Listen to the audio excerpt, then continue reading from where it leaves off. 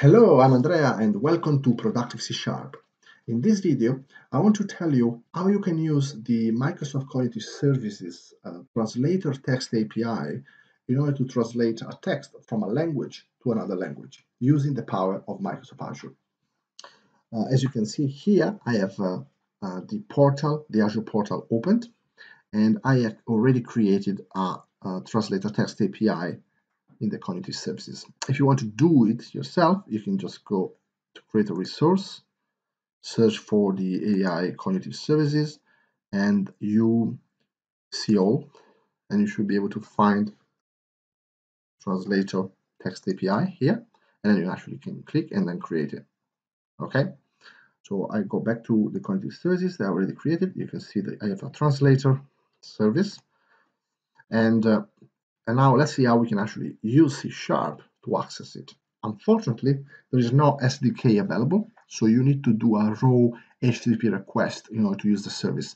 But as you can see, it's fairly easy to do. I have a console application.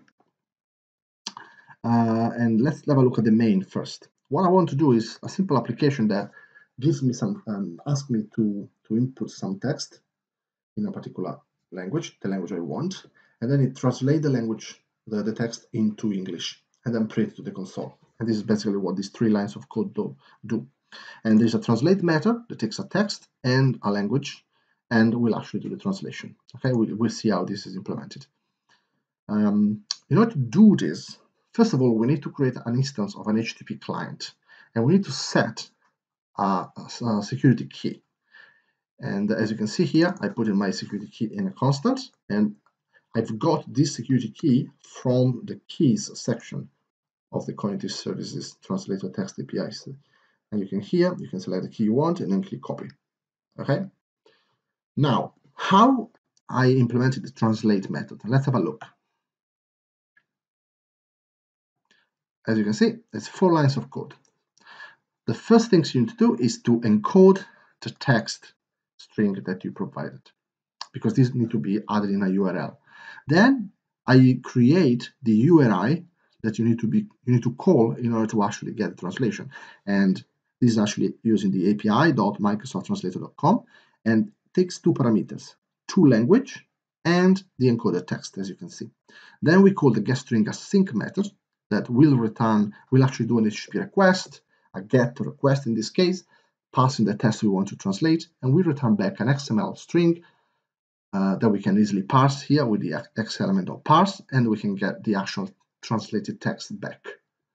And that's it. Let me run the program. Okay. Awesome. Now, the console is, is actually waiting for me to type something. I'm going to type Italian, and then let's see what Azure returns. Uh, ciao a tutti, uh, io sono Andrea press enter. There we go. Hi, I'm Andrea. Fantastic. Let's try again uh, something else. Um, penso che Sharp sia un fantastico linguaggio programmazione. There we go. I think C Sharp is a great is a great programming language. Yeah, it doesn't really get C Sharp. Need to have space in it. Obviously, it's not perfect, but it's an amazing tool. And uh, let's try to close this and just change the um, language to Italian. So now I should be able to do the reverse. So I'm going to type English and I should get back Italian. Okay, this is awesome. Um, um, there we go. Questo è impressionante. That's Italian, so you should trust uh, my Italian. Uh, let's try something else. I love pizza. I am Italian, after all. You know? Amo la pizza, io sono italiano tutto.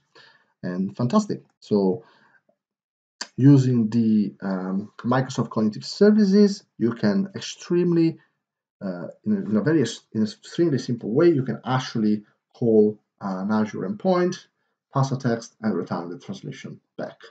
So pretty powerful. Uh, please consider to use it in your applications and uh, and this is actually the reference code you can use in Azure, in Azure to leverage this service. Thank you very much for watching.